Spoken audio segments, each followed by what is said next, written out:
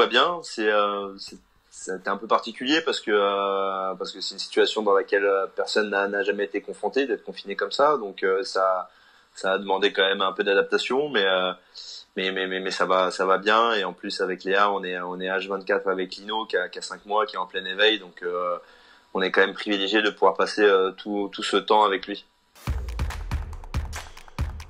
Déjà, le, petit euh, prend, prend pas mal de temps. Donc, on s'occupe, on s'occupe pas mal de lui. Et après, Léa télétravaille beaucoup de son côté. Et moi, pour ma part, je je continue la, formation scolaire que j'ai entamée en septembre dernier à l'EM Lyon. Tout était en ligne déjà avant, donc ça ça, n'a rien changé de ce côté-là. Et, euh, et je commence aussi à, à préparer le projet d'après-carrière.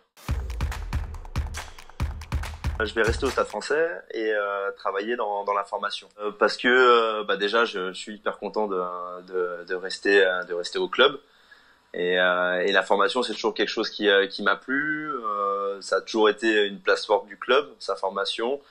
Euh, Pascal Papé à, la formation avec toutes ses équipes euh, fait un, super boulot, donc euh, je suis hyper enthousiaste de pouvoir bah, contribuer à ce projet et, et aider bah, les jeunes joueurs à intégrer les groupes pro, l'équipe professionnelle et de pouvoir s'épanouir dans cet environnement-là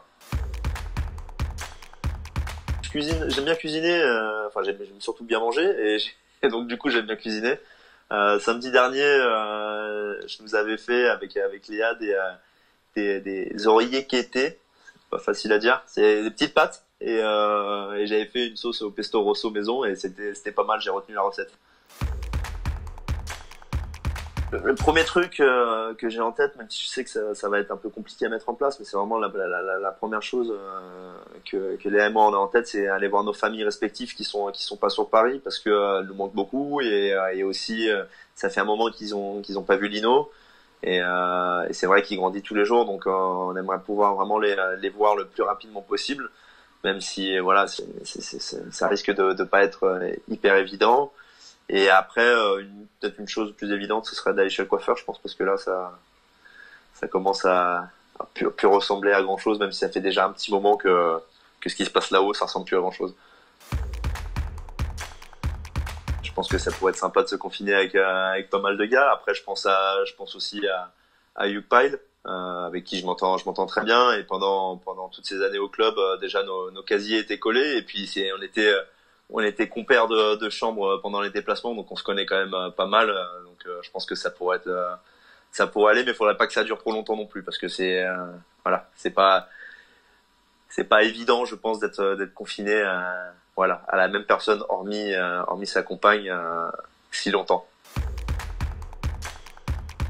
Ouais, ouais. Euh, Talagré, Talagré, parce que même s'il est, même s'il est adorable et qu'on s'entend très bien, euh, à la longue, il a toujours euh, une petite pique ou une petite remarque et euh, je pense que ça peut ça, peut taper sur les nerfs à la longue. Donc, donc ce sera lui.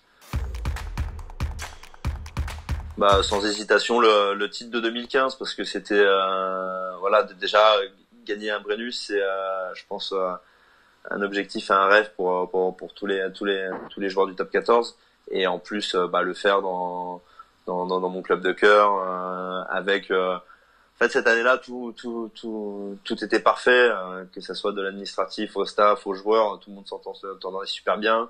Euh, il y avait des joueurs anciens qui avaient mis les plus jeunes dans les meilleures conditions, des étrangers qui étaient super intégrés. Euh, tout allait parfaitement et puis en plus, euh, bah, pour la petite histoire, on était quand même plusieurs, plusieurs jeunes joueurs à, avoir évolué ensemble depuis les catégories jeunes et donc se retrouver en équipe première et, et pouvoir gagner un Brennus, c'était quand même quelque chose d'assez exceptionnel.